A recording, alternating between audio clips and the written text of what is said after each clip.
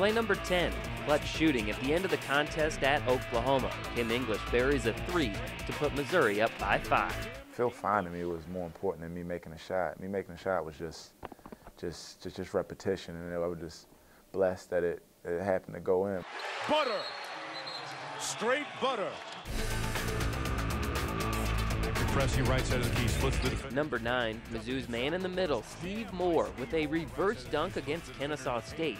But Moore shares the play with himself. His dunk against Baylor also draws rave reviews.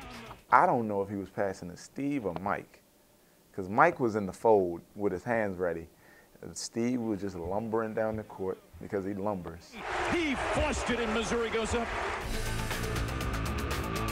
English outlet to Dixon, one player back. Play number eight, obviously great. Michael Dixon to Marcus Denmon, the alley-oop against Northwestern State. I seen Mike on the right side, and uh, we kind of made eye contact. I told him throw it up, and uh, the dude tried to jump, and he like grabbed my arm, but I still finished it, so I got the and one. Denmon jams it and got fouled. Play number seven came in the border battle. In a tie game with one and a half minute left, Kimmy English had the and one to put the Tigers on top. And Mike finally got in his guy. He pressured the ball and he deflected it, and Ricardo got it and got it to Mike, and then Mike passed it ahead to me. I was the least, the least important part of that play. Play six is all about number one's passing. Phil Pressey is a master of the no look to Ricardo Ratliffe against Villanova. How pretty is that?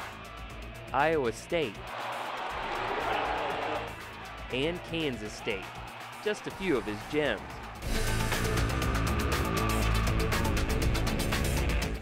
Play number five belongs to Michael Dixon. At the end of the game against Kansas, he drew the charge on Tyshawn Taylor. It was in the clutch, and once again, Mike Dixon just being a smart player that he is and just giving his body up for his team. Play four is a high flying follow. Matt Pressey with the putback dunk against Illinois. Only problem, he didn't stick the landing. I just seen Matt come out of nowhere in front of me, and um, he caught and slammed. He was yelling. He was real imps. Matt's like uh, an old man in a young man's body, so he just explodes, he explodes, and it just surprises everybody. Matt's brother Phil upstaged him for play number three. Against Binghamton, Phil knocks the ball away, then throws it over his head into the hands of Ricardo Ratliffe, who finished in style. Like someone dropping a loaf of bread in a basket. It just dropped in Ricardo's hands. He said he didn't know exactly where I was, but he just decided to throw it to our basket because he figured that I'd be down there.